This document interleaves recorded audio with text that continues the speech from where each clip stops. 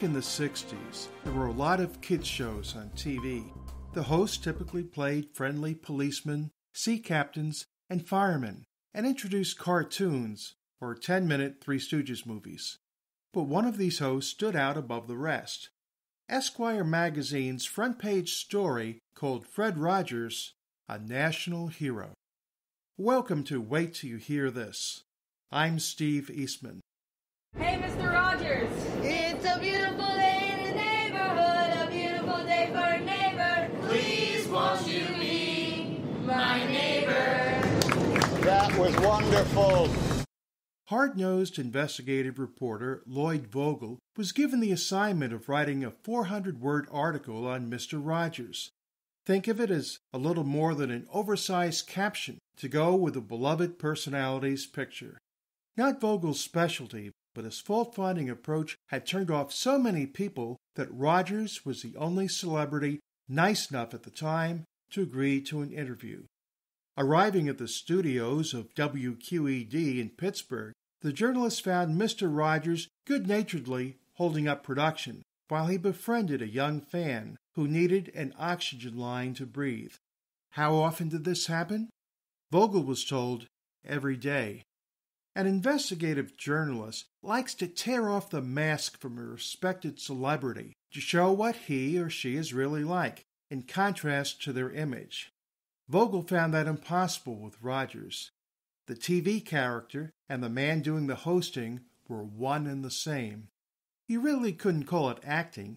He considered the place between the TV set and the viewer sacred space, and was his delight to relate to the child, in his imagination, watching the show. How did Rogers take to Vogel's tough questions? He thanked him for his candidness. The interviewer became the interviewee from the very beginning, as Fred Rogers tried to understand and appreciate his new friend. It became a mentoring type of relationship, with a children's host keeping in touch with a journalist long after their initial meeting, and with Vogel hungering to comprehend the other man's outlook. Kudos to Tom Hanks, who learned to walk in Fred Rogers' shoes so perfectly, and actor Matthew Rhys, who played Vogel, based on real life journalist Tom Junod. Well, let's just say we can see the imaginary gears turning in his head as his character was thinking. Another nice touch was a miniature village from the neighborhood of Make Believe. It looked better than the TV version. Now it mirrored the neighborhood of Pittsburgh, complete with landmarks. So, what became of Vogel's article? It turned out Can You Say Hero was 9,600 words too long, but his editor did not mind. In fact, she was delighted.